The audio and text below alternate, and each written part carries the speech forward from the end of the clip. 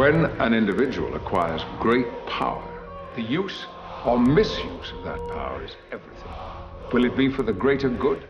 Or will it be used for personal or for destructive ends?